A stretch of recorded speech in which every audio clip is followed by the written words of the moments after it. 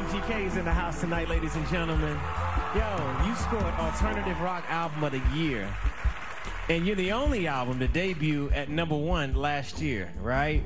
As a alternative artist, right? So I just gotta ask the question, man. You done with rap, bro? Never, never, never.